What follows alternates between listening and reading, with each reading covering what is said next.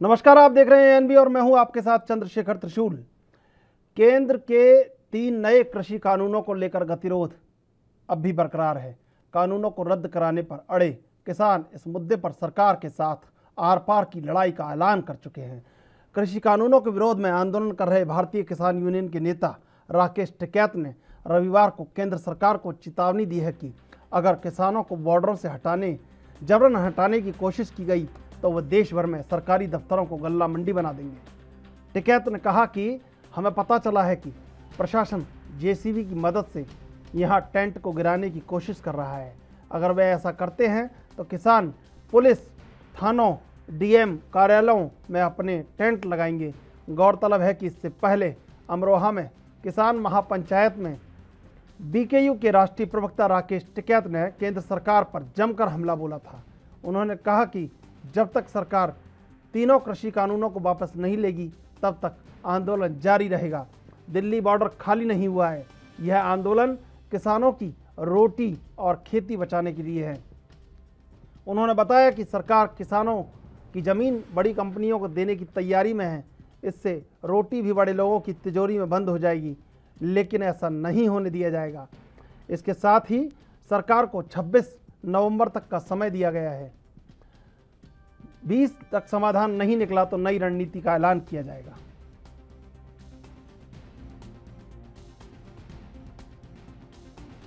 हमारे पे कोई आरोप नहीं लगने ना? हमने रास्ते रोक रखे। ठीक है? हम भी दिल्ली चले गए अपने ताम झाम लेके अब जब दिल्ली पुलिस इन रास्तों को साफ़ कर रही है इन रास्त, बैरिकेडिंग इन रास्तों से हटा रही है हाँ। आना जाना शुरू जिससे कि आना जाना शुरू हो सके पहले भी पहले भी हट रहे हैं हम्म। कोई आदमी ऐसा नहीं है कि जो मुजफ्फरनगर से मेरठ से या बाहर से चला वो दिल्ली ना गया हो हम्म, ठीक है ना रास्ते हमने रोक रखे यहाँ वो आज भी लोग आ जा रहे हैं हम्म। जब ये हट जाएँगे क्या होगा तो उसके बाद में हम अपना बयान देंगे यहाँ प्रशासन का ये पता चल रहा है कि छेड़खानी कर रहा है यहाँ पे जो टेंट लग रहे हैं उनको जेसीबी जाकर उखाड़ने की कोशिश कर रहा है। भाई, वो यहाँ पे उखाड़ेगा तो गाँव वाले अपना मंडी में तो धान और वो फ़सल बिक नहीं रही। अपना थानों में डीएम के वहाँ पे वहाँ पे लगाओगे टेंट अपना वहाँ पे लगा लेंगे।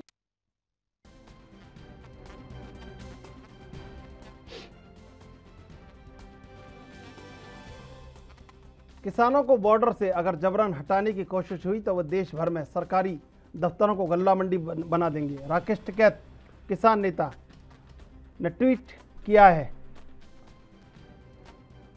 किसानों को अगर बॉर्डरों से जबरा जबरन हटाने की कोशिश हुई तो वे देश भर में सरकारी दफ्तरों को गल्ला मंडी बना देंगे। राकेश टिकैत, किसान नेता, ट्वीट करके अपने बयान को बता रहे हैं, किसानों को अगर बॉर्डर से जबरन हटाने की कोशिश हुई तो वे देश भर में सरकारी दफ्तरों को गल्ला मंडी बना देंगे।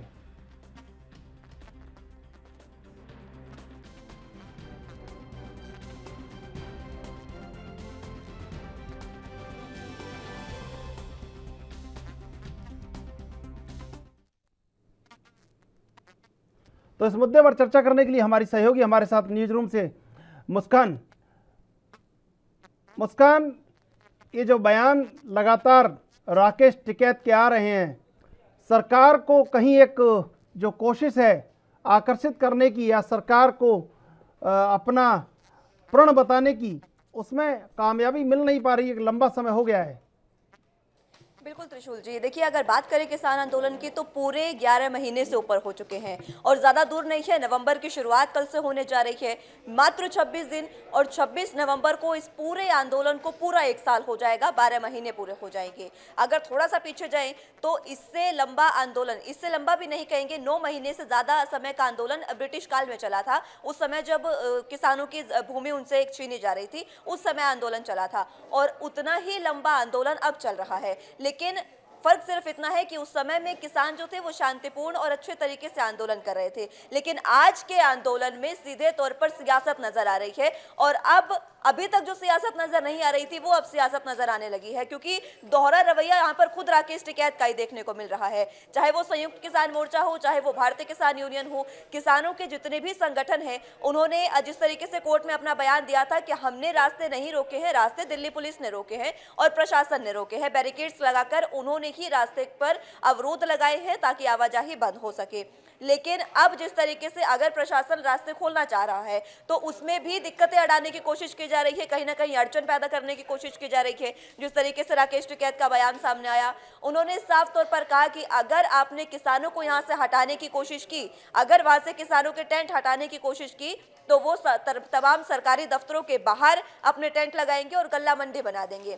हल्ला हु ही करना है आपको तो आप एक जगह बैठकर कर सकते हैं। आपको ये तरीका पता होना चाहिए कि आप सरकार को किस तरीके से प्रभावित कर सकते हैं और किस तरीके से जो आंदोलन को आपको जिस समस्या का समाधान चाहिए, आप वो समस्या का समाधान ले सकते हैं। लेकिन इस तरीके से जब से किसान आंदोलन शुरुआत हुआ है, हालाँकि शुरुआत में इतनी चीज़ें नहीं थी, अब सीधे तौर पर सियासत सियासत इसमें नज़र आने लगी है। और सियासत किस कदर बढ़ रही है, आप देख सकते हैं। अभी कल ही मतदान हुए हैं एलनाबाद में, वहाँ पर भी उससे पहले किसानों की एक मांग थी कि अगर आपने किसानों के समर्थन में इस्तीफा दिया है विधायकी से तो वहाँ आप किसान उम्मीदवार खड़ा करें। यहीं से पता चलता है कि कहीं ना कहीं सियासत यहाँ पर किस लिए हो रही है।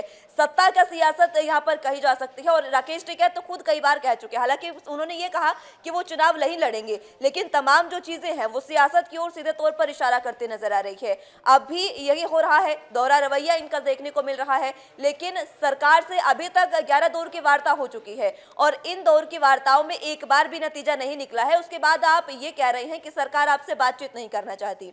अगर हम देखें तो हर सिक्के के दो पहलू होते हैं, देखिए। आपको अगर समाधान चाहिए अपनी समस्या का तो कुछ कॉम्प्रोमाइज आपको भी करना होगा और कुछ सरकार को भी करना होगा। कहीं आपको अपना समर्थन जताना होगा, कहीं सरकार को। लेकिन सरकार अड़ी है कि ना तो किसान जो है ये किसान कृषि कानून ये रद्द नहीं होंगे और किसान अड़े हैं कि कृषि कानूनों को रद्द करके ही घर वापसी होगी। कहीं ना कहीं इसमें बात ये होनी चाहिए कि आप समर्थन अपना कहीं ना कहीं रखिए और उसके बाद अगर आप समर्थन रखते हैं तो कुछ समस्या आपकी समाधान हल होगी, कुछ समस्याएँ किसान सरकार की हल होगी और मिलजुल कर इस समस्या का समाधान निकाला जा सकता है। लेकिन समाधान निकालने की ओर बातचीत यहाँ पर हो ही नहीं रही है। आप इतने लंबे समय से बैठे हैं, आपको साल हो जाएगा, साल के बाद आपको छह महीने और हो जाएँगे, साल और हो जाएगा, दो साल, तीन साल, समय कितना निकलता रहेगा? आप अपने आंदोलन के चक्कर में पूरे जनता को तो परेशान नहीं कर सकते। और यही सुप्रीम कोर्ट ने भी कहा था कि आप आंदोलन करिए, आंदोलन का प्रदर्शन की जो ज़िम्मेदारी या फिर यूँ कहीं ज़िम्मेदारी भी उन्हीं की है किसानों की, क्योंकि उनको सही तरीके से आंदोलन करना है। लेकिन अगर कहें तो सुप्रीम कोर्ट ने भी यही कहा था कि अगर आपको प्रदर्शन करना है तो आप शांतिपूर्ण तरीके से करिए। आपके प्रदर्शन से आम जनता को परेशानी नहीं होनी चाहिए। लेकिन आम जनता को यहाँ पर परेशानी होती नज़र आ रही है। अभी जैसे ही दिल्ली पुलिस ने बैरिकेड्स हटाने शुरू किए थे, चाहे वो टिकरी बॉर्डर हो या फिर गाजीपुर बॉर्डर, वहाँ से जब बैरिकेड्स हटाने शुरू हुए तो उस समय में आम जनता के चेहरे पर कहीं ना कहीं ये उम्मीद जागने लगी थी कि अब ये जो रास्ते हैं वो खुल जाएँगे और इन रास्तों के खुलने से जो लंबा समय तय करके जाना पड़ता था, लंबा रास्ता तय करके जाना पड़ता था, वो अब वापस से पहले जैसा हो जाएगा और आम जनता की समस्या जो है उनका कुछ समाधान होगा। बावजूद इसके, अब एक बार फिर से किसानों की यही समस्या सामने आ रही है। एक बार वो फिर से खड़े हो गए हैं और एक बार फिर से उन्होंने सरकार को चेतावनी दे दी है। पहले भी देते आ रहे हैं और अब एक बार फिर से ये चेतावनी देती है, लेकिन देखना होगा कि इस आंदोलन का समाधान कब होगा और इस आंदोलन के मद्देनजर जो जनता पिस रही है, वो कैसे सही साबित होगी। देखिए मुस्कान अगर बहुत सारे आंदोलन पर हम नज़र डालेंगे और बहुत सारे आंदोलनों को हम देखेंगे तो बीच में एक वार्ताकार या एक, बीच में एक लोग ऐसे संवाद को दोनों तरफ़ से स्थापित करते थे। लेकिन और ये जो आंदोलन है, इसमें दोनों अपनी अपनी दिशाओं में चल रहे हैं, लेकिन बीच में एक जो कहीं दोनों को एक मंच पर लाकर वार्ता करने के लिए तैयार करें ऐसा कोई व्यक्ति या ऐसा कोई विचारधारा कहीं दिखती नहीं है। और अगर ये नहीं दिखती है तो ये बहुत बड़ी कमी है। फिर ये आंदोलन किस दिशा में जाएगा? या केंद्र सरकार कैसे पहल करेगी? या वो बीच का व्यक्ति कौन होगा जो इस पूरी गणित को बिठाएगा? तो ये कहीं ना कहीं एक सवाल पूरा कहीं अंधेरे में है, जिसको रोशनी की ज़रूरत है इस समय बिल्कुल त्रिशूल जी और ये कहना गलत भी नहीं होगा। देखिए, इसमें हम अगर देखें तो विपक्ष इसमें अच्छी भूमिका निभा सकता है, लेकिन विपक्ष क्या कर रहा है? मात्र अपनी राजनीतिक रोटियाँ सेकने के लिए किसानों के बीच में जाते हैं। आप कहीं भी देख लीजिए, जहाँ पर भी आप कांग्रेस की अगर बात करें, क्योंकि अभी मुख्य विपक्ष के रूप में कांग्रेस है। अगर कांग्रेस की बात करें तो कांग्रेस मात्र अपनी राजनीतिक रोटियाँ सेकने के लिए किसानों के बीच में जाती है। अभी जिस तरीके से राजस्थान में किसानों के साथ राजस्थान के हनुमानगढ़ में जब किसानों पर लाठीचार्ज हुआ था, जब वो प्रदर्शन कर रहे थे, छत्तीसगढ़ में कुछ इस तरीके की चीज़ें हुई। कांग्रेस ने वहाँ पर एक बार भी नहीं बोला, लेकिन जब लखीमपुर की घटना हुई, तब कांग्रेस इतनी सक्रिय हुई जितना कोई और विपक्ष सक्रिय हुआ ही नहीं। अच्छी बात है, आप किसानों के समर्थन में सक्रिय है, लेकिन पहले अपने गिरेबान में झाँक कर देख ले तो ज़्यादा बेहतर होगा। ये चीज़ें जो है, वो सीधे राजनीति का स्तर बता रही हैं कि आज के समय में राजनीति का स्तर कहीं भी देखने को नहीं है। बहुत ज़्यादा राजनीति का स्तर गिरता नज़र आ रहा है। बात करें किसानों की और बीजेपी की तो पहल कोई भी नहीं करने वाला है, क्योंकि हठधर्मिता एक जो शब्द होता है, वो यहाँ पर साकार होता नज़र आ रहा है। चाहे फिर वो किसान हो, चाहे फिर वो बीजेपी सरकार हो, केंद्र सरकार हो, दोनों में ही हठधर्मिता है। पहल करने को कोई भी तैयार नहीं है। इनकी पहल करने के लिए कहीं ना कहीं विपक्ष को इसमें भूमिका निभानी चाहिए थी, लेकिन लोकसभा और राज्यसभा का हमने पूरा सदन देख लिया, पूरी सदन की कार्रवाई देख ली। एक बार भी किसानों के समर्थन में वहाँ पर विपक्ष ने बात नहीं उठाई थी।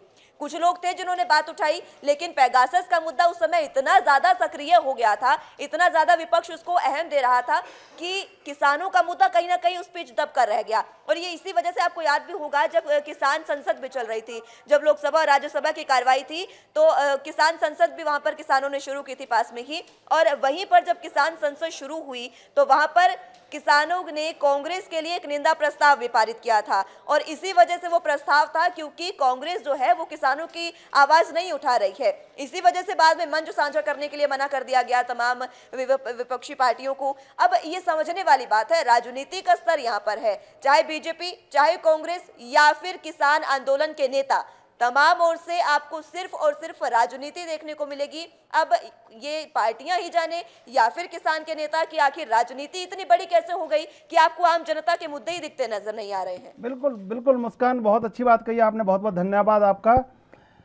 किसान आंदोलन में जो एक सबसे बड़ी बात ये है कि अब एक लंबा समय जो हो गया है किसान आंदोलन को चलते चलते अब हर एक आंदोलन में अगर हम हम हम आप अन्ना हजारे का आंदोलन देखेंगे, तमाम आंदोलन देखेंगे तो कहीं एक कोई बीच में एक वार्ता करने के लिए कोई एक व्यक्ति को प्रमुख बनाया जाता था और हर पार्टियों में ऐसे व्यक्ति होते थे जो बीच में एक मध्यस्थ का काम करते थे। वो मध्यस्थ कहीं नज़र नहीं आता है, लेकिन शायद कैप्टन अमरिंदर के जो केंद्र से एक जो ट्यूनिंग हुई है तो शायद हो सकता है कि आने वाले दिनों में कैप्टन अमरिंदर सिंह ही वो मध्यस्थ के रूप में स्थापित हों, लेकिन अभी फ़िलहाल कुछ नज़र नहीं आता और टिकैत लगातार अपनी बात रखते हैं अलग अलग तरीक़ों से रखते हैं और केंद्र सरकार का ध्यान आकर्षित करने के लिए तमाम तरह की धमकियाँ, चेतावनी, प्रस्ताव रखते हैं।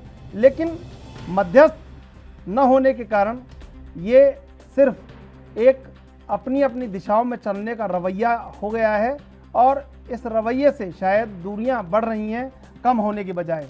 ये सबसे चिंताजनक विषय है। और इसी चिंता को अगर हम ज़मीनी स्तर पर देखेंगे तो वो लोग जो सोचते हैं कि इतना लंबा आंदोलन अगर चला है, इतने लोग अगर संगठित हुए हैं तो कहीं ना कहीं कोई रास्ता निकलेगा। लेकिन सबसे बड़ी बात, रास्ता लंबा होता जा रहा है, लेकिन समाधान समाधान छोटा होता जा रहा है, समाधान निकल नहीं रहा है और बीच में एक जो मध्यस्थता के लिए जो एजेंडा तैयार होना चाहिए, वो एजेंडा भी शायद नहीं है। उनकी अपनी हठधर्मिता है, इनकी अपनी हठधर्मिता है, दोनों ही पक्षों की हठधर्मिता के चलते जो चीज़ें हैं, वो बजाय ठीक होने के खराब होती जा रही हैं।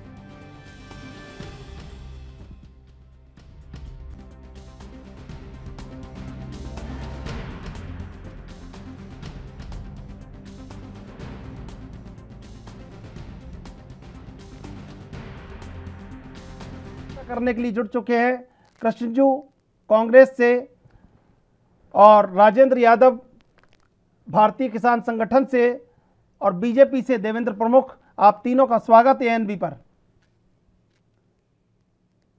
कृष्ण जी ये जो आंदोलन चल रहा है, एक जब आपकी सरकारें हुआ करती थी केंद्र में, बहुत सारे आंदोलन इस देश में हुए तो एक मध्यस्थ की भूमिका होती थी।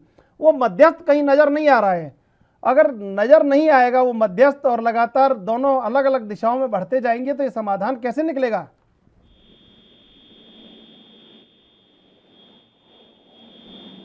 कृष्ण जी आवाज़ मिल पा रही है आपको मेरी? राजेंद्र यादव जी मेरी आवाज़ मिल पा रही है आपको? हाँ मैं मैं सुन रहा हूँ। राजेंद्र जी मध्यस्थ की भूमिका हुआ करती थी राजनीति में सरकारों में। और वो मध्यस्थ कहीं नज़र नहीं आता लगातार एक दूसरे की तरफ़ से चेतावनियाँ जारी होती हैं। तो ये समाधान निकलेगा कैसे आखिर?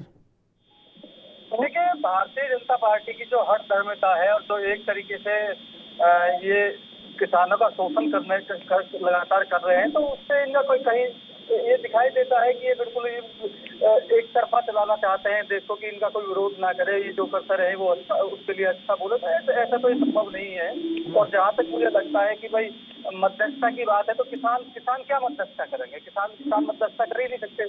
किसान तो अपना दर्द लेकर आए हैं, जो जो अपना दर्द लेकर आता है, वो मध्यस्थता की बात ही नहीं कर सकता।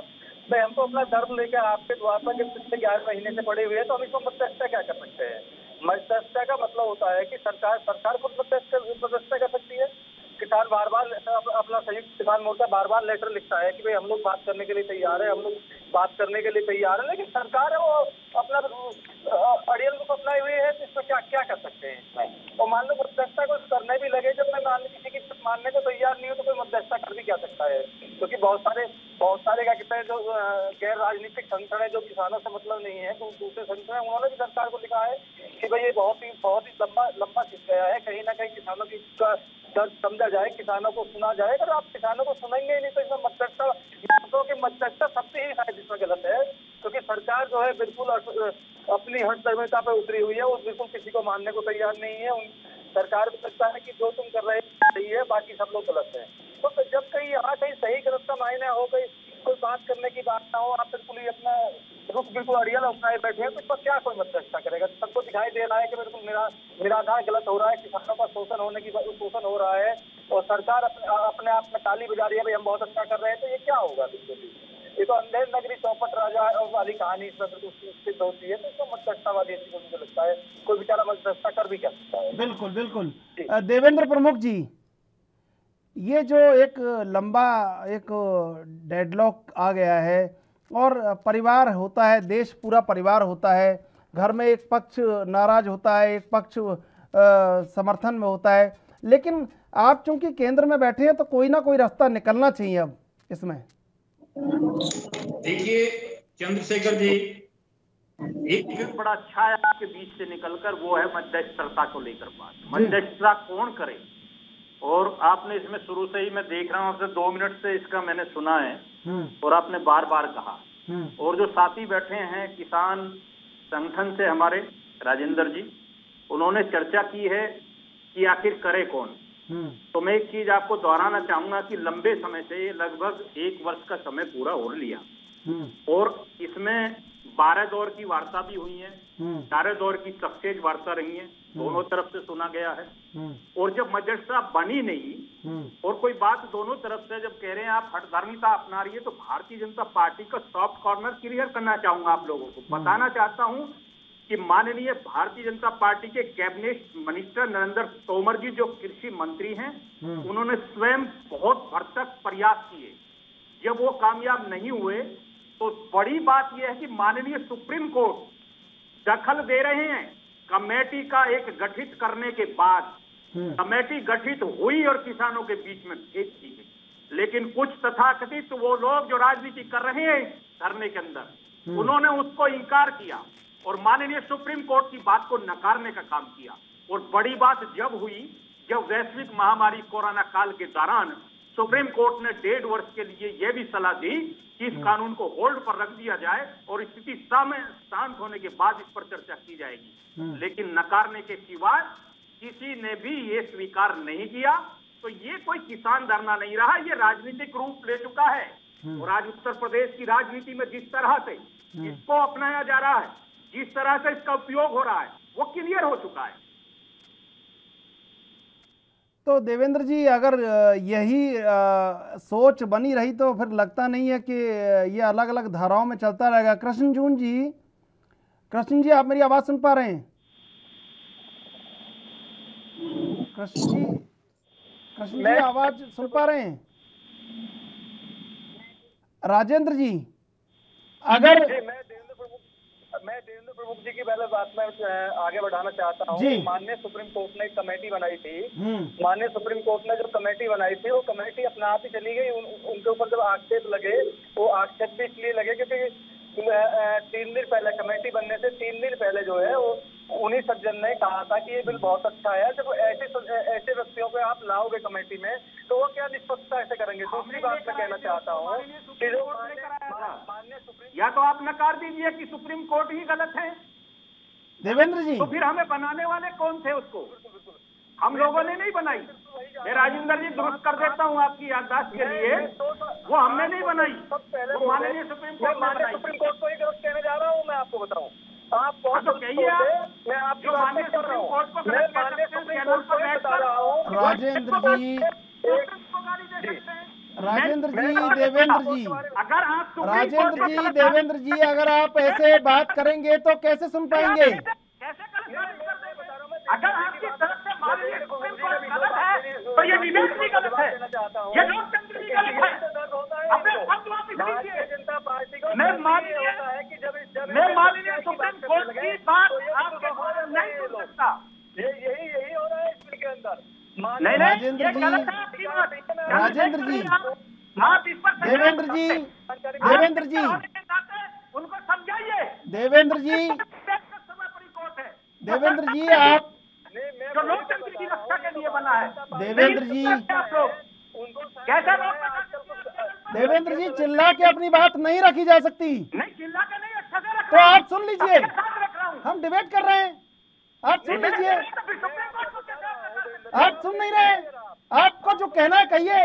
एक एक करके सुन लीजिए बात को। नहीं कैसे सुन लूँगा गलत बात आपकी? क्यों सुन लूँ। राजे सुप्रीम कोर्ट के लिए कैसे दखल करा दिया डिबेट में? देवेंद्र जी- क्यों नहीं? क्या भूमिका उसकी वहाँ है एंकर बनकर? क्यों नहीं सरकार को नहीं वो सरकार को क्यों नहीं कर रहे? देवेंद्र जी आप सरकार में बैठे हैं? मुझे नहीं लगता कि इसमें कोई नाराज़गी की बात है। देवेंद्र जी आप सरकार में बैठे हैं। बिल्कुल। मैं काम तो तो। आपको एक आपको गंभीरता रखनी आपको गंभीरता रखनी चाहिए देवेंद्र जी। कर रहे हैं अरे भैया जब आप सुप्रीम कोर्ट को नहीं मानते नहीं। तो डिबेट का क्या नहीं नहीं आप देखिए देवेंद्र जी आप कर रहे परिवार की अगवानी कर रहे हैं तो आपको थोड़ी गंभीरता रखनी चाहिए। बिल्कुल रख रहा हूँ।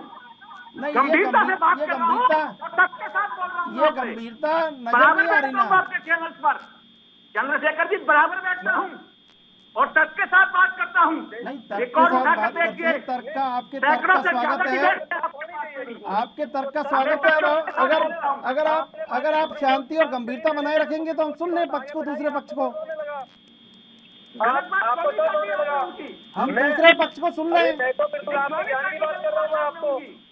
देवेंद्र मैं जी बिल्कुल आपके ज्ञान की बात कर रहा हूँ। अगर आप शांति नहीं रखेंगे तो ठीक नहीं है। सुन लीजिए पहले। अगर आप मुझे कोई जानकारी दे दे तो अच्छी बात राजेंद्र यादव जी। रहा राजेंद्र यादव जी राजेंद्र यादव जी। राजेंद्र जी आप अपनी बात रखिए। देवेंद्र जी के सामने हम उनसे सवाल पूछ लेंगे। मैं मैं आपकी बात आगे बढ़ाता हूँ। देवेंद्र जी। ने कहा था कि माननीय सुप्रीम कोर्ट को हम लोग गलत मानते हैं। अरे गलत चीज़ को गलत नहीं कहेंगे तो इसलिए क्या क्या हो गए हम्म, आप के ऊपर नाराज़ हो गए अब आप मेरी अगले अगले अगले अगली बात के ऊपर ज़्यादा ही नाराज़ हो जाओगे। भैया मैं आपको बताता हूँ अरे कि आप जो कानून के संसद से पारित हो गया सरकार तो महोदय के सिग्नेचर हो। गए। सरकार की तो देवेंद्र जी, को आपको नहीं है। आपके आपको आपके भारतीय जनता पार्टी में बहुत देखिए, लोकतंत्र हैं। देवेंद्र जी अगर? देवेंद्र जी अगर आप सरकार में बैठ के भी गंभीरता नहीं रखेंगे तो ठीक बात नहीं लगती है। देखिए आप जो डिबेट करा रहे हैं जी। चंद्रशेखर जी मैं आपके संज्ञान में लाना चाहूँगा। मुझे पता नहीं आज पहले सामना हो रहा मुझसे। आप कैसे कितने बड़े एंकर हैं? नहीं नहीं मैं आप मैं कोई बड़ा छोटा नहीं यहाँ ज्ञान आपको। उतना ज्ञान मुझे कुर्सी पर बैठकर हाँ। और आप चैनल के माध्यम से देश के मालिक नहीं बन जाएँगे। जिसे आपको कैसे लग रहा है ये? कानून में विश्वास नहीं है तो ये आपको क्यों लगा? विश्वास नहीं है ये आपको क्यों लगा? क्या हम संवाद करने के लिए स्वतंत्र नहीं है। बात की जा सकती है नहीं नहीं जो राजेंद्र जी चुप हो जाइए आप। आपको इस बात की गारंटी नहीं है कि आप बैठकर कुछ भी बुलवाएँगे। नहीं आप संवाद करने के लिए स्वतंत्र नहीं है। एक शब्द भी नहीं सुन सकता। हम आप चाहे तो सम- मुझे से देवेंद्र जी, देवेंद्र जी। प्रवक्ता ढूंढ सकते हैं। देवेंद्र जी आप क्या ये बताएँगे कि हम संवाद करने के लिए स्वतंत्र नहीं है? संवाद हम संवाद के तरीके से कर सकते हैं। तो आप संवाद की परिभाषा आप जानते होते तो सुप्रीम कोर्ट का नाम आते ही उनको गरिमा बताते। और वो दोबारा दोहरा रहे हैं कि मैं सुप्रीम कोर्ट को नहीं मानता। जब वो अगर आपसे सवाल पूछ रहे हैं तो आप जवाब दे देना उनका। तो मैं पूछना चाहता हूँ वो पाकिस्तान के कोर्ट में विश्वास रखते हैं या वो इंग्लैंड के संविधान में विश्वास रखते हैं या फिर अमेरिका का इंग्लैंड मानते हैं या फिर बराबर के चाइना का कोर्ट को मानते हैं इंग्लैंड के कोर्ट को मानते हैं उसका बता दें उसका अधीन बात करें। क्योंकि। सरकार तो उनकी है ही नहीं। सरकार के तो पहले से ही विरोधी है। अगर अगर वो डिबेट करना चाहते हैं? देवेंद्र जी- सामने अपनी बात रखना चाहते हैं? देवेंद्र जी। पूछना चाहता हूँ ये सवाल। देवेंद्र जी। आप क्लियर करिए इसको। मैं आपसे पूछना चाहता हूँ चंद्रशेखर जी। हम्म। आप एजेंट कर मुझे समझाइए इस बात को। हम्म, देखिए बताइए आप कौन से कोर्ट में देखिए जाकर देखिए देवेंद्र जी। कौन सुनने वाला हमारी को? देवेंद्र जी अब आप बात सुन रहे अब आप बात नहीं सुनेंगे। अब आप बात नहीं सुनेंगे तो कैसे होगा?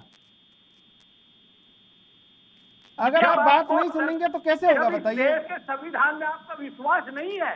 पूरा विश्वास है? हर हर व्यक्ति का विश्वास है। और ये राष्ट्रवाद आपके खातिर नहीं है राष्ट्रवाद सब राष्ट्रवादी है इस देश में। सच के साथ राष्ट्रवादी है ना तभी तो आप सुप्रीम कोर्ट को गाली दिला रहे हो चैनल पर बैठकर। जब वो सवाल पूछ रहे हैं आप उनका जवाब दे देना। हम तो गाली दिलवा रहे हैं क्या? वो कोर्ट को चैलेंज करेंगे। तुम करोगे सुप्रीम कोर्ट को चैलेंज जब हम। उनसे सवाल पूछ रहे हैं। है क्या? आज पहली डिबेट कर रहा हूँ मैं आपसे। जब हम उनसे सवाल पूछ रहे हैं देवेंद्र जी। मेरी समस्या पर है आपको किसने बैठाया? शांति से गंभीरता से मेरी बात सुन लेंगे आप? नहीं नहीं गंभीरता से नहीं सबके साथ बोल रहा हूँ। गंभीरता तो बाद में देखूँगा। अगर हम उनसे सवाल पूछ रहे हैं तो आप जवाब दे दीजिएगा। और इस देश के कोर्ट को ललकार रहे हैं तो गंभीरता का विषय को क्या कहाँ है तो ये जवाब तो आप उन्हें दीजिए हमें क्यों दे रहे हैं? आपको इसलिए दे रहा हूँ कि आप समर्थन कर रहे हैं उसका। नहीं नहीं नहीं नहीं हम किसी का समर्थन हम किसी का समर्थन नहीं करते हम जनता की बात को जनता तक पहुंचाते हैं। हम लोकतंत्र में विश्वास रखते हैं। अगर डिबेट में बीच में नहीं है तो फिर आप डिबेट का मतलब क्या है? डिबेट को करा कौन रहा? अगर अगर कोई बयान आया है अगर कोई बयान आया है तो उसका पक्ष जानना चाहेंगे। लोकतंत्र को खतरा बताने लगे या संविधान में विश्वास न रखे हम्म। तो डिबेट का औचित्य क्या बचता है? अगर कोई सवाल है तो उसका जवाब तो जानना ज़रूरी है ना। सवाल ही तो करोगे ना? हाँ। ये सुप्रीम कोर्ट का निरस्त करोगे आप? तो हमने तो कोई ऐसी बात कही नहीं है आपसे जो आप इतना तो- नाराज़ हो रहे हैं। आप- अरे आपके चंद्रशेखर जी आपके चैनल पर हो रहा है। बार बार तो आप उनको जवाब दे दीजिए। कि मुझे सुप्रीम कोर्ट में विश्वास नहीं है। तो आप उनको रोक दीजिए हम उनको रोक रहे हैं हमने सुनी कहा उनकी बात को रोक रहे हो आप एक बार भी नहीं रोक पाए तो आ, आपने रोकने दिया आप आप बोलते गए लगातार। मुझे इसी बात पे जो गुस्सा आ रहा है बार बार चंद्रशेखर जी आप रोकने के बजाय समर्थन कर रहे हैं। हम किसी का समर्थन नहीं करते संविधान के खिलाफ। आप चैनल पर बैठकर कर रहे हैं। बिल्कुल और आप गलत कह रहे हैं। आप आप। बिल्कुल गलत कह रहे हैं देवेंद्र जी। देवेंद्र जी आप बिल्कुल गलत कह रहे हैं। और माननीय सुप्रीम कोर्ट के वकील ने हम किसी का समर्थन नहीं करते। हम सिर्फ़ बात रखते हैं अपनी। बुलवा रहे हैं? हम सिर्फ़ अपनी बात रखते हैं हम सवाल पूछते हैं उसका जवाब देते हैं। आप अब आप जवाब दे दीजिए जो राजेंद्र यादव कह रहे थे उसका क्या जवाब है आपका? सुप्रीम कोर्ट का जवाब मांगना चाहते हाँ धीरे धीरे दे दीजिए। क्या जवाब चाहते हो बताओ? वो जो सवाल कर रहे थे उसका जवाब दे दीजिए आप। क्या सवाल था? अब ये यही बात है आप इतनी देर से चिल्ला रहे हैं और कह रहे हैं क्या सवाल था पूछ रहे हैं। सुप्रीम कोर्ट को गाली दुआ दे रहे हो आप। जब उसको विश्वास नहीं सुप्रीम कोर्ट में अभी अभी ले जब उसको सुप्रीम कोर्ट में बिल्कुल आप हमारे साथ बने रहिए लेते हैं छोटा सा ब्रेक ब्रेक के बाद फिर हाजिर होंगे।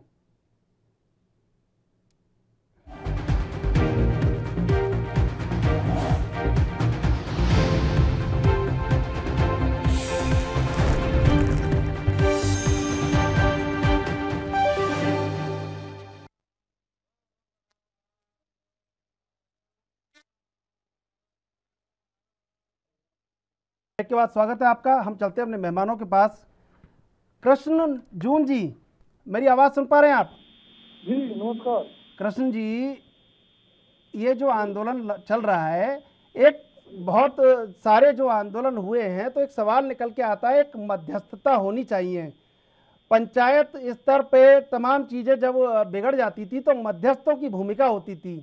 वो मध्यस्थ कहीं नज़र नहीं आते हैं और लगातार अपनी अपनी दिशा में सब बहे जा रहे हैं। तो ये कैसे समाधान इसका होगा? देखिए देश एक तरह से तानाशाही की तरफ़ बढ़ रहा है और जिस तरह से बीजेपी के लीडर बिहेव कर रहे हैं सरकार बिहेव कर रही है ये बिल्कुल तानाशाही और अघोषित आपातकाल की तरफ़ देश बढ़ गया है। नहीं तो आज तक के इतिहास में कभी ऐसा नहीं हुआ बल्कि पूरे अंग्रेज़ भी करते थे तो वो बातचीत करते थे कि आइए हमें हमारे से बातचीत कीजिए। लेकिन ये तो गोरे अंग्रेज़ों से भी बुरी सरकार आ गई कि इन्होंने सिर्फ़ लठ तंत्र के सहारे किसी भी तरह आवाज़ दबाओ किसानों को खालिस्तानी बता दो पाकिस्तानी बता दो मुस्लिमों को पाकिस्तानी बता दो इनको सिर्फ़ और भाई को भाई से लड़ा दो बिल्कुल। तो, व्यापारी से लड़ा दो मजदूर को कर्मचारी से लड़ा दो सिर्फ़ इनका लड़ाने का काम है बीजेपी का। भाईचारा तोड़ने का काम है कहीं पर धर्म पर लड़वाते हैं कहीं पर जाति पर लड़वाते हैं कहीं पर कृषक और कमीने वर्ग को लड़वाते हैं।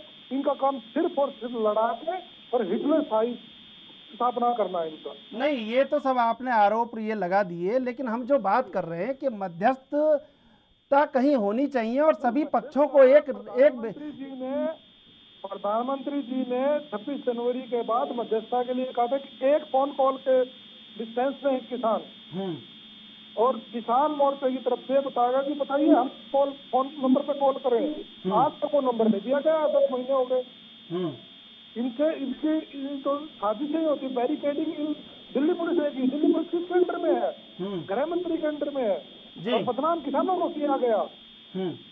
लेकिन? राजेंद्र राजेंद्र यादव जी आप मेरी आवाज़ सुन पा रहे हैं? लगाते हैं। राजेंद्र जी राजेंद्र जी आपके वकील ने दुष्यंत दवे ने कहा कोर्ट में कि बैरिकेडिंग पुलिस ने लगाए थे। जब आप उन्होंने ये कहा दुष्यंत दवे ने कि बैरिकेडिंग पुलिस ने लगाए थे तो आप क्यों कह रहे हैं कि गल्ला मंडी बना देंगे अगर बैरिकेडिंग हटाए तो? अरे गन्ना मंडी बना के कौन सी बात कर रहे हैं? हम लोग तो ये कह रहे हैं हमें हमें क्या कहते हैं बैरिकेड हटाओ फिर रास्ता खुल जाएगा। नहीं गन्ना मंडी तो मतलब है?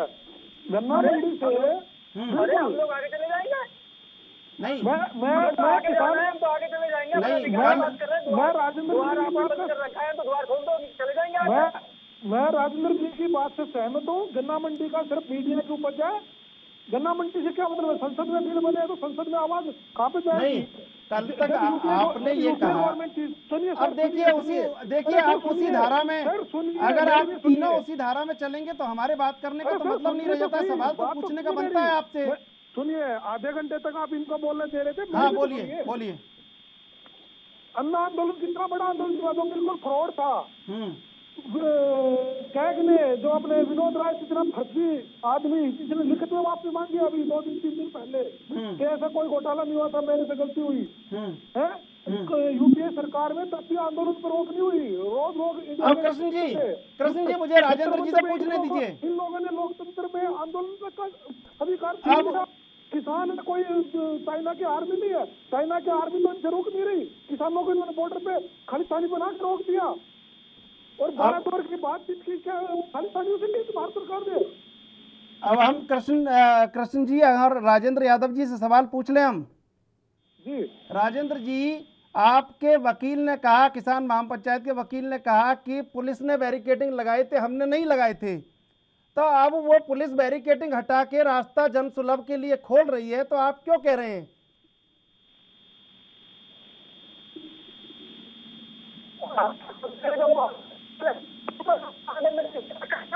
हमारे ऊपर जो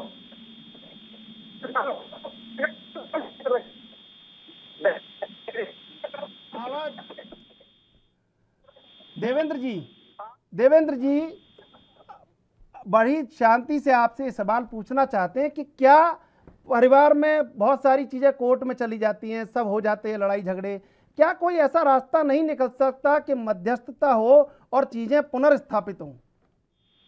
देखिए चंद्रशेखर जी क्लियर बोलता हूँ मैं क्लियर आपको करना चाहता हूँ मेरी बात को ध्यान से सुनना। जी।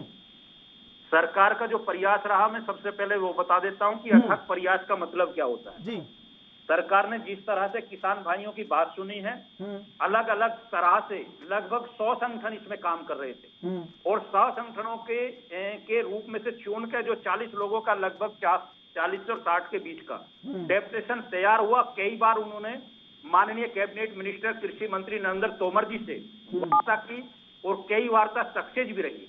और कई वार्ताओं में जब दिक्कत आई कुछ टिकेट जी की दिक्कत आई कुछ और जो है नेताओं की दिक्कत आई तो लगभग उसमें से 80 से ज़्यादा संगठन सरकार के साथ आकर खड़े हो गए। हम्म। कि हमें ये कानून पसंद है हम इसी चीज़ की मांग करते हैं। ये बात एमएसपी की दोहराई गई और जब एमएसपी की बात आई तो सरकार ने स्पष्ट कर दिया कि जैसे आप चाहो उस पर चर्चा कर लो। हम्म। और जब सरकार चर्चा एमएसपी पर शुरू करने की लगी और लगा तथाकथित नेताओं को किए तो समझौता होने जा रहा है। तो उन्होंने एक ही आवाज़ निकाली कि हम तो इस तीनों काने कानून को रद्द करने की बात करते हैं। हम्म। तो जो संभव नहीं था वो हो नहीं सकता था।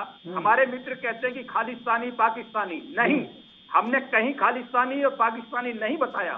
खालिस्तानी का काम वो था जब आप लोकतांत्रिक तरीके से जाकर आप देश के लाल किला पर झंडा चढ़ा देते हैं और आपके मुख्यमंत्री आप ही के सरकार के मुख्यमंत्री ये कहते हैं कि सिद्धू जब प्रदेश अध्यक्ष कांग्रेस बनता है पंजाब का तो आतंकवादी खतरा पैदा हो चुका है देश में। कभी भी। और सिद्धू जो है, वो मिला हुआ है। और सिद्धू ने ही जाकर ये चर्चा की थी पाकिस्तान में। ये अंबेडकर का बयान है। आपको दोहरा देना चाहता हूँ और कांग्रेस के मित्र के कान खोलने के लिए। समझा देना चाहता हूँ कि कांग्रेस के लोग ही कांग्रेसियों का आतंकवादी संविदा होना बताते हैं। और साठ वर्ष के सबूत भी ये साबित करते हैं कि जिस तरह से आपने पाकिस्तान बॉर्डर चाइना बॉर्डर पर ईरान सरकार को देवेंद्र जी। की कृष्ण जून कुछ कह रहे हैं सुन लीजिए वो क्या कहना चाह रहे हैं आपसे का देवेंद्र जी कृष्ण जून कुछ कह रहे हैं वो सुन लीजिए क्या कहना चाह रहे हैं फिर आप बोल लीजिएगा में एक चीज़ क्लियर करना चाहता हूँ खालिस्तानी और पाकिस्तानी बताने वाला कृष्ण कांग्रेसी देवेंद्र जी। मुख्यमंत्री देवेंद्र जी। देवेंद्र आपके संज्ञान में और आपकी यात्रा को दूर करने के लिए बोल रहा हूँ। देवेंद्र जी। एक जी बार जाँच करा दीजिए। देवेंद्र जी धर्मेंद्र सिंह मुख्यमंत्री होते हुए कह रहे हैं कि पंजाब की सीमा पाकिस्तान से लगी हुई है और सिद्धू के प्रदेश अध्यक्ष बनते ही पंजाब में दोबारा होगा। ये आप लोगों की तरफ़ से आया हुआ बयान है और मीडिया के माध्यम से आया हुआ बयान है। इसका जवाब दीजिए। बिल्कुल अभी आपको रोक कृष्ण जी आप मेरी आवाज़ सुन पा रहे हैं? जी। कृष्ण जी आप जवाब दे रहे थे देवेंद्र प्रमुख के जो आरोप थे उनका। हेलो। हाँ जी। देवेंद्र प्रमुख जी ने जो आरोप लगाए आप उनका जवाब दे रहे थे। क्या बोल रहे थे? क्योंकि उस समय बहस जारी थी लगातार। नहीं आ रही क्या बोल रहे अब वो मुस्कुरा के सुन रहे हैं जवाब दे सकते हैं आप।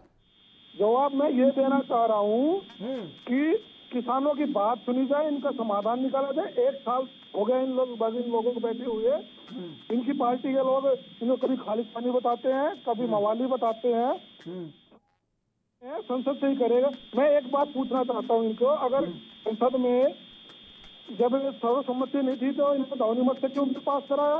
क्यों रिकॉर्डिंग बंद कराई? क्यों राज्यसभा टीवी बंद कराया उस टाइम वोटिंग के टाइम पे? अब आप में अब आपसे देखिए आप जो सवाल पूछ रहे हैं उसका जवाब भी सुन लीजिएगा आराम से। अगर आप तीनों लोग एक साथ बोलेंगे तो सुनाई नहीं देता है कौन क्या बोल रहा है। सवाल बताइए। अब पूछ लेते हैं इनसे। देवेंद्र जी जो ये सवाल पूछ रहे हैं उसका जवाब दे दीजिए।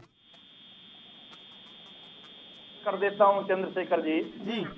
कि जो हमारे मित्र ने आवाज़ उठाई है कि खालिस्तानी पाकिस्तानी हम्म। सबसे पहले इनके संज्ञान में लाने के लिए कि जो पंजाब के मुख्यमंत्री हैं कांग्रेस का बड़ा चेहरा और बड़ा नाम। हम्म। सिंह जी ने कहा कैप्टन ने हम्म। कि ये जो कांग्रेस ने प्रदेश अध्यक्ष बनाया नवजोत सिद्धू को पंजाब का इससे सीमा खतरे में आ गई। और पाकिस्तान से खुला रास्ता बन चुका। और ये कहीं ना कहीं आने वाले समय में भारत के लोकतंत्र के लिए खतरा है। मैं हरमिंदर सिंह जी की बात का समर्थन करते हुए उनका धन्यवाद करता हूँ कि उन्होंने लोकतांत्रिक तरीके से ईमानदारी से इस बात को स्वीकार किया। लेकिन एक कांग्रेस नेतृत्व तो है परिवारवाद में और परिवारवाद के साथ साथ इतना जो है भिन्नता में घिर गया कि मुख्यमंत्री की बात सुनने की बजाय मुख्यमंत्री चेंज कर दिया। अगर मुख्यमंत्री चेंज भी कर दिया तो उसकी बात का सवाल का सवाल का जवाब देना चाहिए था। यही तो जवाब चाहिए यही तो जवाब जनता मांग रही है। और जनता जब जवाब आपसे मांग रही है और जवाब आप देने की पोजीशन में नहीं है तो आप किसान की वोट में भारतीय जनता पार्टी से क्या लड़ोगे? आपका अस्तित्व खत्म हो चुका है देश में। आप इस स्थिति में हैं कि आप किसी भी प्रदेश में अगर कहीं बात करें आप छत्तीसगढ़ में चले जाइए किसानों की बात करें देवेंद्र जी, देवेंद्र जी। किसान बने हैं। हिम्मत नहीं अरे जवाब सुन लो। की जाकर अगर बोल भी दे एक किताब। अरे क्या हुआ राजस्थान में? अरे लाठी चार्ज कराया आपकी सरकार ने वहाँ किसानों पर। तो हम इतना तो बड़ा काम किसानों पर लाठी चार्ज नहीं कराते। किसान और किसानों का सम्मान करते हैं। अरे सीट लेनी है तो इस देश के नेतृत्व से लीजिए माननीय नरेंद्र मोदी से लीजिए और ये सचिव मुख्यमंत्री योगी आदित्यनाथ से लीजिए देवेंद्र जी डिबेट है। कोई रैली थोड़ी है। और आपने पंजाब से और देवेंद्र जी, को देवेंद्र जी। को देवेंद्र जी, अगर आप ऐसे करेंगे तो कैसे? सुन सभी पक्षों की बात सुन लीजिए। भाषण नहीं दे रहे हो। हाँ। में भाषण नहीं स्टूडियो में बैठे हो। जी कृष्ण जी बताइए। अब कहते हैं अमरिंदर की बात आपको अच्छी लगी माना। हम्म, कैप्टन की बात सारी अच्छी लगी ना? तो आपको ये याद है कि कैप्टन ने सबसे पहले विधानसभा में बिल लाके और इन तीनों बिलों को कैंसिल किया था। आपके राज्यपाल ने जो आपके बीजेपी के द्वारा अपॉइंट किया हुआ है उस राज्यपाल ने अरे सुनो यार अरे सुनो सुनो। अच्छी लगी आपको कैप्टन की बातें वो क्यों नहीं मानी आपने कैप्टन ने सबसे पहले पंजाब का उठाकर देखिए ना वहाँ तो देखिए देवेंद्र जी कृष्ण जी बात चल रही है किसान आंदोलन की बात चल रही है मध्यस्थता की बात चल रही है कुछ और अब बात कहाँ चल रही है?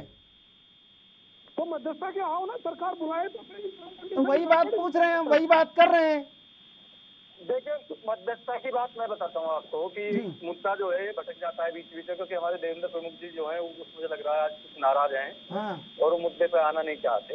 हाँ। भाई मुद्दे तो एक मिनट मेरी बात। रा- सुन लीजिए आप अम, अम, आप अमरिंदर सिंह जी की बात करते हैं मैं सोचता हूँ बिल्कुल निराधार है वो बिल्कुल गलत है क्योंकि वो दूसरी दूसरी पार्टी के नेता हैं उनकी बात करना बेकार है। लेकिन आपकी पार्टी के अंदर से यानी कि भारतीय जनता पार्टी के जो सांसद हैं वरुण गांधी जी हैं उन्होंने इस, इस, इस बिल का समर्थन किया है और उन्होंने और भी कुछ कहा है मैं कहूँ उस, उस भाषा को मैं देश के सामने टीवी पे रखना नहीं चाहता क्योंकि वो थोड़ी सी गलत बात है और हमारे प्रमुख साहब फिर नाराज़ हो जाएँगे।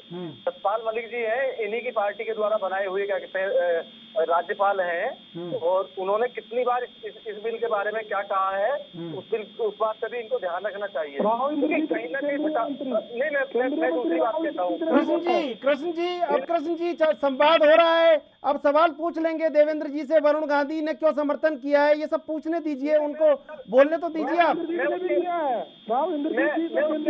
उन्होंने भी किया। कृष्ण जी कृष्ण जी सुन लीजिए सुन लीजिए। जाना चाहता हूँ मैं आपको बता दूँ। मैं उसके हाँ। आगे भी जाना चाहता हूँ मैं आपको बता देना चाह रहा हूँ। मैं उसके भी आगे जाना चाह रहा हूँ। हाँ। माँ बात देवेंद्र प्रमुख जी के द्वारा कि केंद्रीय कृषि मंत्री नरेंद्र तोमर जी कई बार बात कर चुके हैं ये देश का दुर्भाग्य है कि ऐसा आदमी बात करता है ग्यारह दौर की वार्ता करता है।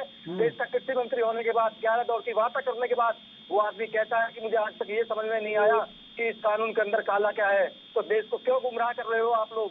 क्यों पागल बना रहे हो? क्यों देश की संसद को पागल बना रहे हो? आप कानून की बात करते हो? आप संविधान की बात करते हो? ग्यारह दौर की वार्ता कर लेते हो आप लोग? आपको ये नहीं पता इसके अंदर क्या खामियाँ क्या नहीं। आप सोलह बिंदुओं में से तेरह बिंदुओं में संशोधन करने की बात कर देते हो लेकिन बाहर मीडिया के सामने बोलते हो हमें यही नहीं पता कि इसके अंदर काला क्या इससे बड़ा इससे इससे बड़ा दुर्भाग्य देश का और क्या होगा कि ऐसे लोग जो किसानों के दर्द की बात करते हैं और बाहर आके ठिठोले उठाते हैं मज़ाक उड़ाते हैं कि हमें आज तक पता ही नहीं चला कि इसके अंदर काला क्या है। ये अपने आप में सबसे ज़्यादा गलत है। ऐसे लोगों के बीच में कौन मध्यस्थता करने के लिए आएगा कि जो आदमी ग्यारह दौर की वार्ता करता है और कहता है कि हमें पता ही नहीं इसके अंदर कमी क्या है? अरे कित, कित, कितना बात करोगे? और ऐसे लोग चाहते हैं कि मध्यस्थता कैसे हो? अब सवाल पूछ ले राजेंद्र यादव जी। राजेंद्र यादव जी आप दो मिनट कृष्ण जी आप रहें शांत तो सवाल पूछ ले देवेंद्र जी से। देवेंद्र जी एक तो वरुण गांधी जो बोल रहे हैं उसका भी जवाब दे दीजिए आप। देखिए बहुत अच्छा क्वेश्चन है। हाँ। वरुण गांधी जी बोल रहे हैं और सत्यपाल मलिक जी भी बोल रहे हैं। हाँ। मैं स्वागत करता हूँ हाँ। और मैं भी बोलता हूँ। हाँ मैं किसान का बेटा हूँ। हम्म। किसान की पृष्ठभूमि से आता हूँ। जिस ज़िले से राकेश टिकैत है। जिस क्षेत्र से राकेश टिकैत जी हैं हम्म। उस क्षेत्र से मैं भी बिलोंग करता हूँ। पश्चिमी उत्तर प्रदेश का निवासी हूँ हम्म। और किसान प्रदेश प्रधान हम्म। पश्चिमी उत्तर प्रदेश है। हम्म। बहुत अच्छे से पृष्ठभूमि को जानता हूँ। और कोई भी मैं एक चीज़ और क्लियर कर देना चाहता हूँ। हम्म। इस देश का कोई भी राजनेता हम्म। कोई भी छोटे से छोटा नेता सांसद से लेकर विधायक तक हम्म। ऐसा किसी की पृष्ठभूमि है ही नहीं हम्म। जो किसान से ना जुड़ी हो। हम्म। खेत खलियान से ना जुड़ी हो हम्म। तो कोई साबिती नहीं कर सकता अपने आप को कि उसका संबंध किसान से नहीं है। लड़ाई किया है बिंदु क्या है चर्चा क्या है? साठ वर्षों से जो इस बिल में खमिया अरे देवेंद्र जी आपसे पूछ रहे हैं वरुण गांधी क्या बोल रहे हैं वरुण गांधी क्यों समर्थन कर रहे हैं ये जानना चाह रहे हैं हम आपसे। बहुत ही ज़रूरी था बहुत ही ज़रूरी था इसका विश्लेषण होना और विश्लेषण के बाद सुधार होना। रही वरुण गांधी की बात कि वरुण गांधी ने कोई स्पष्ट तरीके से ऐसा बयान नहीं दिया कि हाँ। बिल किसान विरोधी है या सचपाल जी ने कोई ऐसा बयान नहीं दिया। और मेरा बयान तो मैं भी देता हूँ कि जहाँ सुधार की ज़रूरत है सरकार तैयार है सुनना पसंद करेगी आप कह रहे हैं, आप- आप- आप मान रहे हैं क्या? कानून है। आप मान रहे हैं क्या? आप कृष्ण जी कृष्ण जी राजेंद्र जी चुप रहिए। क्या आप मान रहे हैं सुधार की आवश्यकता है? आप मान रहे हैं क्या सुधार की आवश्यकता है? देखिए मैं तो ग्यारह करोड़ की चर्चा की है। सुधार की आवश्यकता नहीं सुधार आपने कहा है। अभी। जिस जिस बिंदु पर उंगली उठाई हाँ। उसी बिंदु पर सरकार तय हुई। और मैं ये कहता हूँ फिर दोहराना चाहता हूँ हम्म। सौ में से अस्सी संगठन सरकार के साथ खड़े हुए हैं और कहते हैं कि कॉन्ट्रैक्ट फ़ार्मिंग से लेकर किसान बिल में एमएसपी तक का देखिए। जो कार्य है वो बहुत शानदार है और हमें मंजूर देवेंद्र है। जी बात उतनी देखिए देवेंद्र जी। देवेंद्र जी बात उतनी दूर तक ही जाएगी चाहे चिल्ला के बोली जाए चाहे धीरे बोली जाए। आप आप इस तरह इस तरह दबाव में लेके आपने जो हमला बोला है आज इस तरह दबाव में लेके ऐसे चलता नहीं है देवेंद्र जी। लोकतंत्र है। सबकी बात सुननी समझनी और कहनी पड़ती है। फिर अपनी आपने सबको एक कटघरे में खड़ा कर दिया। मैं कभी गलत तथ्य के साथ नहीं बोलता। मैं ये कह रहा हूँ आपसे आपसे स्पष्ट पूछ रहा हूँ देवेंद्र जी वरुण गांधी क्यों समर्थन कर रहे हैं? मैं उसको स्वीकार नहीं कर सकता किसी भी एंगल से नहीं कर सकता। वरुण गांधी क्यों क्यों समर्थन कर रहे हैं? वरुण गांधी की बात मैंने दोहरा दी। आपने अच्छे से नहीं सुनी हो तो फिर सुन लीजिए। जी। वरुण गांधी नहीं बहुत लोग भारतीय जनता पार्टी के भी इस पक्ष में खड़े थे कि जिस बिंदु पर चर्चा करनी चाहे किसान भाई जहाँ कहे अब देवेंद्र जी। को सुनेंगे ठीक करेंगे। अब देवेंद्र जी एक बात पूछ। लूँ एक बात पूछ लेकिन लूँ तीनों काले कानून है ये स्वीकार नहीं नरक किए जाए ये स्वीकार नहीं। देवेंद्र जी एक बात पूछ ले शांति से। अब अब अगर चंद्रशेखर ने ये हमने ये बात पूछ ली आपसे कि क्या मध्यस्थता नहीं हो सकती? मामले कोर्ट में चले जाते हैं लेकिन पंचायतें बैठती हैं देश में। आप जमीनी स्तर किसान परिवार से आते हैं तो आपको पता होगा जो गाँव में फैसले हो जाते हैं वहाँ सभी पक्षों को झुकना पड़ता है। तो पंच बड़े नहीं होते क्या? तो हमने क्या गलत बात कह दी? आपने इतना इतना दबाव इतना महिमा मंडन रच दिया आपने। ऐसे थोड़ी होता है। देवेंद्र जी सवाल तो पूछा जाता है। मीडिया मीडिया को आप मीडिया को बहुत ज़्यादा दबाव में नहीं ले सकते। सवाल पूछना पड़ता है। देश की राजनीति में आग लगा रखी है। हत्या हो रही है बलात्कार हो रहे हैं। किस तरीके से कृष्ण जी। किस तरीके से लटका दिया गया था एक गरीब आदमी को? कृष्ण जी। कौन सी जाति में किसान की बात है? कृष्ण जी। के कृष्ण जी, क्या क्या लगता है कि लंबा समय बीत जाने के बाद कहीं कोई एक ठहराव आएगा? देखिए। सही बात के लिए सरकार प्रतिबद्ध अरे है। इनको चुप कराओ भाई। जब चाहे जैसे चाहे आप करा सकते हैं। गलत बात स्वीकार नहीं है। बिल्कुल बिल्कुल आपने कह दिया अपना पक्ष रख दिया। बाकी दो लोगों का पक्ष भी सुन लेते हैं देवेंद्र जी। आज आप छाए हुए हैं आपकी परफॉर्मेंस जोरदार है बहुत। कृष्ण जी कृष्ण जी ये आंदोलन इतना लंबा चल रहा है कोई ठहराव की उम्मीद है? कहीं ठहराव आ सकता है कि आप सब लोग एक जाजम पे बैठ जाएँ? ये देखिए मैं आपको थोड़ा सा कहना चाहूँगा कि गांधी जी 1915 में हम्म, अफ्रीका से लौटे। हम्म, और उन्होंने देश की आज़ादी के लिए लड़ाई शुरू करी। तो अंग्रेज़ों के राज में कहीं सूरज नहीं डूबता था। हम्म, वो भी अपने आप को तुरुम खा समझते थे। हम्म, अपने आप को सबसे बड़ा समझते थे। लड़ाई लंबी लड़नी पड़ी लेकिन पच्चीस तीस साल की लड़ाई के बाद देश आज़ाद हुआ और आज यहाँ तक कांग्रेस पार्टी लेके आई। वो अलग बात है कि इन्होंने सब कुछ बेड़ा गर्क कर दिया। बीजेपी ने सात साल के राज में सत्तर साल का कमाया हुआ सब कुछ बेच डाला। तो ऐसी बात नहीं है किसान वही किसान वर्ग है हम्म, जो पहले से आज़ादी की लड़ाई में भी था चीन की लड़ाई में भी वही किसान वर्ग था पाकिस्तान की लड़ाई में भी वही किसान वर्ग था। देश में कोई आपदा आ जाए तब भी वही किसान वर्ग उसी के बेटे सेना में बॉर्डर पे लड़ते हैं और यहाँ दिल्ली के बॉर्डर पर भी उन्हीं के पिताजी भाई चाचा ताऊ बैठे हुए हैं। तो किसान बिरादरी एक ऐसी बिरादरी जो हार नहीं मानती। हम्म, किसान बिरादरी को कितना ही लंबा संघर्ष करना पड़े हम्म, किसान बिरादरी संघर्ष करेगी और इन काले कानूनों को वापस करवा के छोड़ेगी। रही बात कांग्रेस पार्टी की। कांग्रेस पार्टी हमेशा किसानों के हित में काम किए हैं चाहे वो कर्जा माफ़ी का रहे हो चाहे रिफॉर्म का रहा हो चाहे वो पुराने कानून रहे हो। कांग्रेस पार्टी ने हमेशा किसानों की आवाज़ उठाई है किसानों के लिए काम किया है। आ, ए, आपको याद होगा भूमि अधिग्रहण बिल कांग्रेस ला के गई थी यूपीए में। 2013 में। हम्म, अगर वो भूमि बिल पास नहीं हुआ होता कांग्रेस नहीं बना के गई होती तो आज ये सारी ज़मीन बड़े उद्योगपतियों को नाम करा चुके होते? अब इनको उस तरह डायरेक्ट ज़मीन का कब्जा नहीं हो रहा तो इन्होंने कृषि को इन तीन काले कानूनों के द्वारा कब्जा करने का काम किया है। मेरा आपके चैनल के माध्यम से बीजेपी को चेतावनी है या तो सुधर जाओ इन तीन काले कानूनों को वापस ले लो। इसलिए किसान को है जो बंजर ज़मीन को हल चला के उसमें सोना उगाती है। बिल्कुल। बीजेपी खबर खोदेगी कि अगले सौ साल तक को बीजेपी का नाम लेवा नहीं बचेगा। बिल्कुल कृष्ण जी देवेंद्र जी और राजेंद्र यादव जी आपका डिबेट में जुड़ने के लिए बहुत बहुत धन्यवाद। बहरहाल बात चल रही रास्ता निकालने की लेकिन रास्ता निकलता नहीं है और बहस लगातार लंबी होती जाती है। देखना है कि आगे अ, कैसे इसका समाधान निकलेगा। बहरहाल ताज़ा तरीन खबरों के लिए आप देखते रहिए एन